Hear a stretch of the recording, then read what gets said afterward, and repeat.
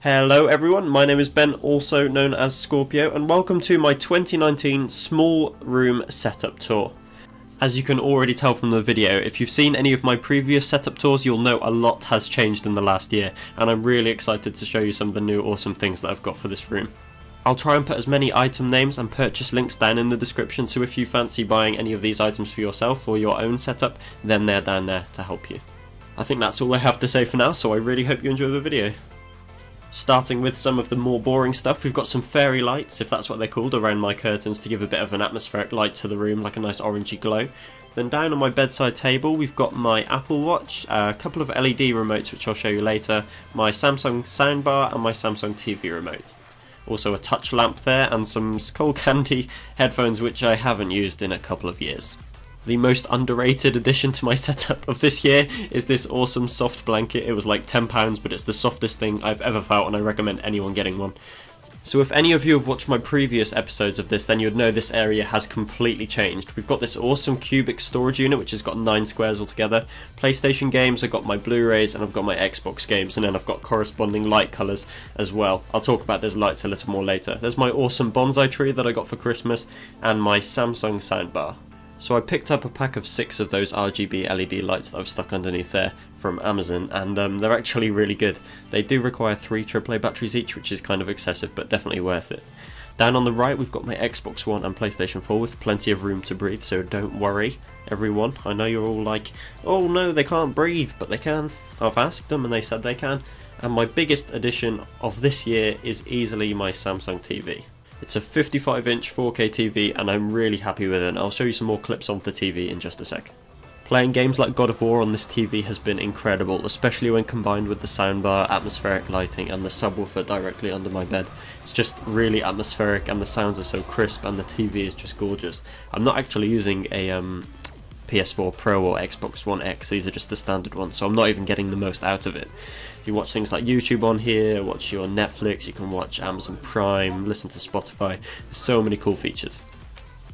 To get the atmospheric lights around the TV, I just got a USB LED kit and that goes straight into the back of the TV, so no messy cables or anything like that.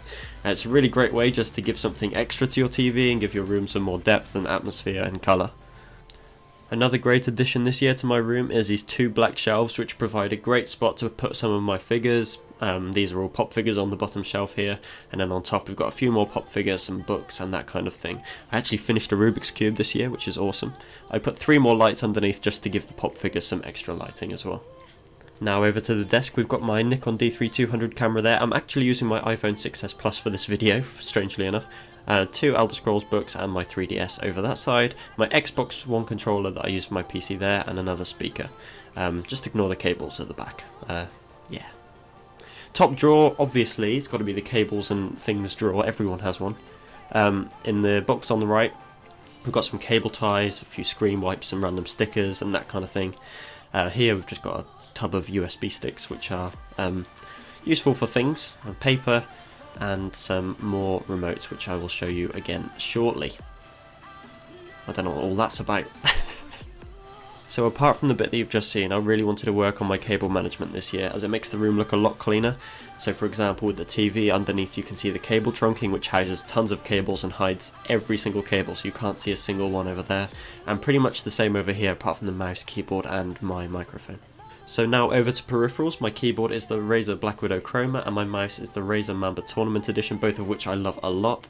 The microphone, which I'm using now so you can do a sound test if you like, is the Rode NT USB, which is quite pricey but I think it's really good. The webcam that I use is a Logitech C920 which is 1080p 60fps which is great for streaming Last but most certainly not least is the headphones which I use, which are the SteelSeries Arctis 5. They are actually really good headphones, super comfortable, and they have great software as well for customizing your audio to the way that you want it. I'm still rocking the dual monitor setup with the two Asus VG248QE 144Hz 1080p monitors, which I absolutely love.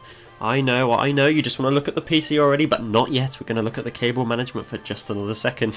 so as you can see, it's kind of messy behind my monitors, but honestly, that doesn't bother me because I don't see it when I'm sat down, and to be honest, that's all that matters.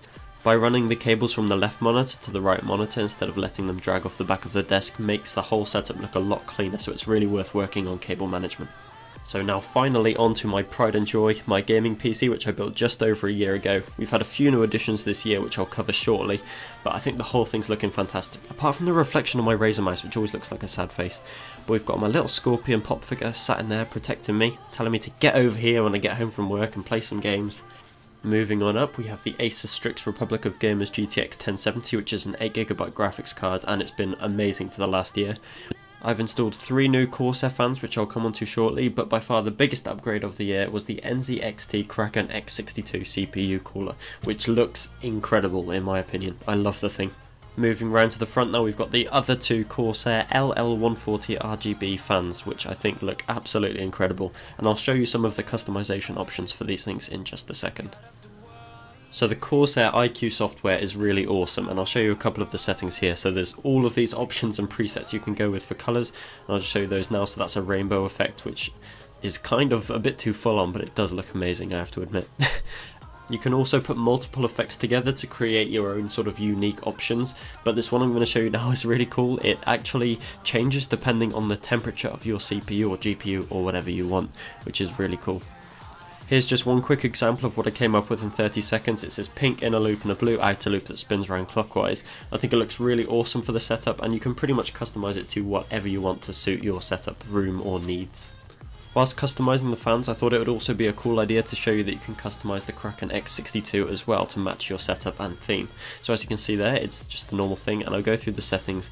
So there's loads of presets on here as well, so you've got the breathing, fading, pulse, spectrum wave, then the smart custom audio and game options, which I'll show you in a second. So if we test out the spectrum wave, for example, if I press apply, and we look over there, it's kind of crazy, um, and I don't think that would suit any setups really, unless you've got just an insane RGB setup going on.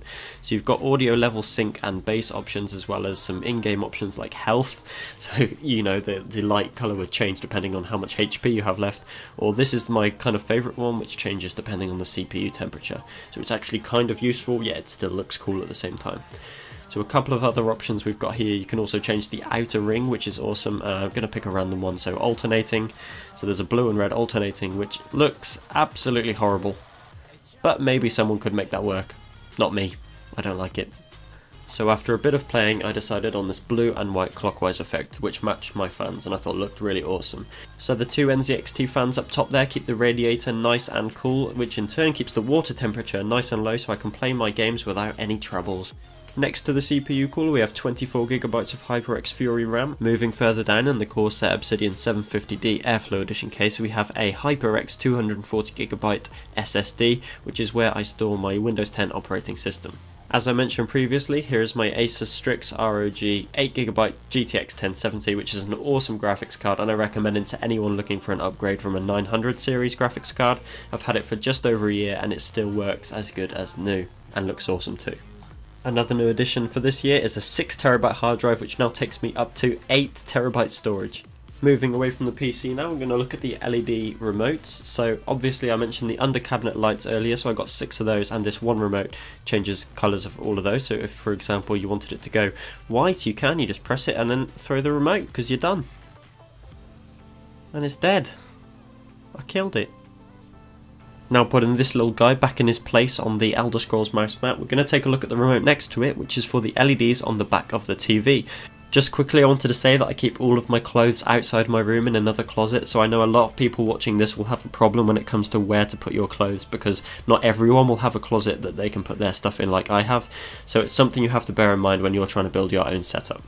So with a simple tap on the remote, I changed the colour of the LEDs behind the TV from blue to red, so you can change it to whatever theme you want to go for at the time.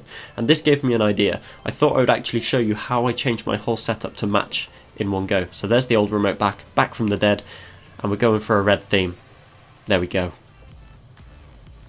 Apart from, the remote doesn't work for everything, so it's time to get creative. So now it's time to change more colours to red.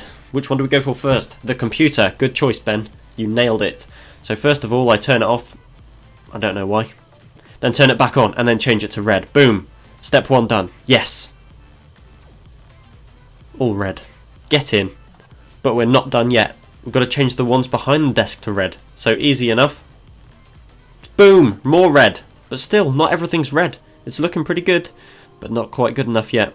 So in just under a minute I managed to change all three fans, the graphics card, the water cooler, my mouse, my keyboard, my headphones and my desktop wallpaper as well as all of the other lights and things in my room to a red and black theme which I thought looked awesome. Moving on round, I thought, what else could I show you on the TV to match the black, red, white kind of theme? And it was Persona 5, it's the perfect colour scheme for it.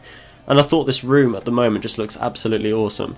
Being able to customize your room exactly how you want it is a really awesome thing to be able to do. It means you'll never get bored of one setup and if you do, you can change to exactly what you want. So there we have it, my 2019 Ultimate Small Room Setup Tour. I really hope you've enjoyed this one, I've really enjoyed making it and adding to the whole setup throughout the year. I think my room's looking really awesome now and I'm going to actually struggle to improve it for next year so I don't know if this will be the last one. I really hope not because I really enjoy making these videos and it's nice to see how my setup and my room has changed over the years, see what additions I've made, why I've made decisions and that kind of thing. I just want to say a massive thank you to everyone who's watched this video or any of my previous setup tour videos, liked, commented and subscribed over the last few years. It's been a really awesome journey. I'd also love to hear your feedback down in the comments section below and if you haven't already, please subscribe to the channel as that means a lot. I'll leave you now with a few short gameplay videos to show you what it's like to sit and play games in my room. I really hope you've enjoyed this one, and I'll see you all in the next video. I've been Scorpio, and I'll see you. Bye.